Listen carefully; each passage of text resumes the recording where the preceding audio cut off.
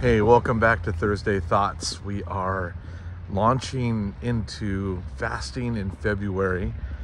And uh, you can see I'm here at uh, Kaiser just outside of the ER. And I just got done spending some amazing time with Rena Verner, who is uh, easily one of the most godly, precious people I've ever come to know. Been friend of, of Cindy's family uh, for, since she was just a little girl. And she's fighting stage four cancer, and uh, she's here in the ER because she was experiencing a lot of pain. And in the in the middle of that, uh, she's saying, "I have lived the most blessed and beautiful life. This has been a beautiful journey." Here she is, fighting cancer, and yet she has beat the doctors they said she should have been gone a couple years ago and she's still here. I wouldn't be surprised if she's still here a couple years from now. But she's just said, however many more days that I, I have here, I, I want I want God's grace all over it. And I and as I'm, I'm listening to her, um, as she's talking about Jesus, um, the way she knows Jesus is the way I want to know Jesus. And in fact, that's the reason why we fast. We don't fast um, to get God to do something for us.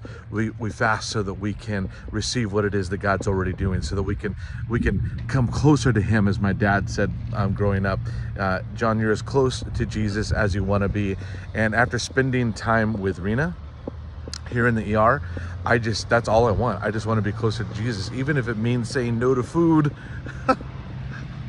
food, I love, you know how much I love food, but uh, I love Jesus' presence more.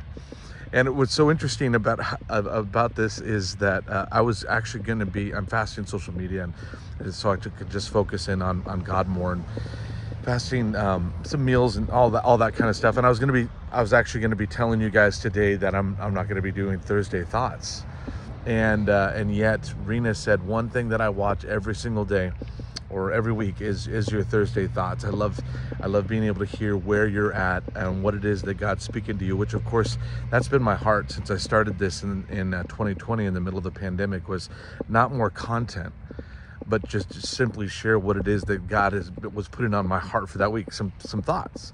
And I don't I don't ever want to get to that place where this is just something that I'm putting on there because we need content instead of being content in Christ's presence. And so Rena, this is me saying I'm not going to stop Thursday thoughts. If you're the only one that's watching this, um, that is absolutely worth it to me. And it means so much to me that this would mean so much to you.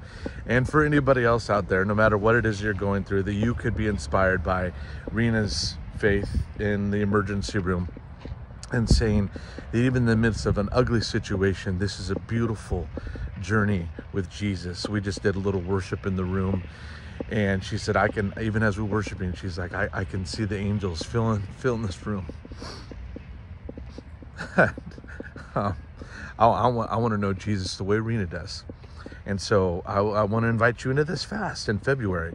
Uh, we're launching house churches. We're going to be studying um, about fasting and why um, it shouldn't be optional. It be central to our expression and our walk with the Lord. And the American church, we've just kind of like left it behind and, uh, and so I'll just be sharing about my fasting journey uh, with you during these Thursday thoughts to invite you into the journey with me. Um, but I want to close with this quote uh, Prayer and fasting go together, and prayer is uh, grabbing a hold of the unseen, and fasting is letting go of the seen. Um, my heart for you and I in February, as even as we start Lent, the 40 days fasting that leads up to Easter Sunday, um, Good Friday and Easter Sunday, is that you and I would grab a hold of the unseen and that we would let go of the seen, that we would uh, leave behind our false escapes and run to the only one that can truly bring us peace and joy, like my friend Rena has right here. So let's take this journey together. Uh, if you want to join me on Wednesdays specifically, uh, where I'm going to be fasting from uh, sunrise to sunset, and uh, let's contend to get closer to Jesus on this 40 day journey, February and March, leading to Good Friday and Resurrection Sunday. If you're in with me and you want to join me on this 40 days of seeking His presence, practicing His presence, let me know in the comments below. God bless.